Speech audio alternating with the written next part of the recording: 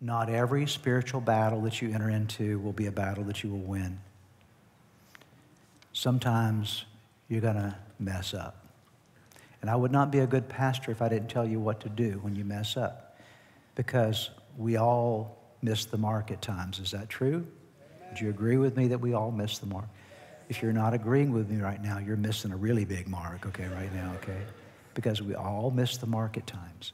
And so there are times we get trapped by the enemy in certain ways, and we don't always do it the right way. And so, and I'm not condoning that, and I'm not encouraging that. I'm just uh, acknowledging the reality that there, along the journey, you're going to lose some battles. But please remember this when you lose a battle, it does not mean you've lost the war. Okay? And so there's something that you and I need to do because sometimes we're going to get wounded in spiritual battle. And so, what do we do when we're wounded in spiritual battle? Take a look at what the scripture says in 1 John chapter.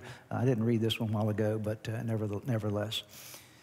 Second, 1 John chapter 2, verses 1 and 2. My little children, I'm telling you this so that you will stay away from sin. Got it? So he says, Before I get into all this, I'm telling you all this because I want you to stay away from sin. I want you to be victorious.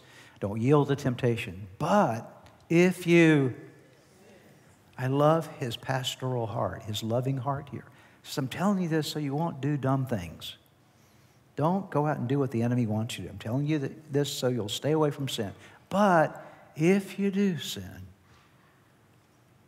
there is someone to plead for you before the Father and his name is Jesus Christ, the one who is all that is good, who pleases God completely. I am so glad that when I have the heart not to sin, but I end up making a mistake along the journey, that I've got an attorney in heaven for me. Amen. And his name is Jesus. And he's pleading my case before the Father. And he's taking, he said, I paid the price for, for Dale's sin. And he's paid the price for your sin. And he's the one who is good, all that is good, who pleases God completely. And then it goes on to say, He is the one who took God's wrath against our sin, against our sins upon Himself, and brought us into the fellowship with God.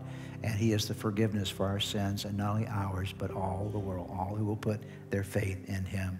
So when you're wounded in battle, don't run away from God. Run to God because you have an advocate, and his name is Jesus. And that's the way you find forgiveness and the opportunity to get up and go again.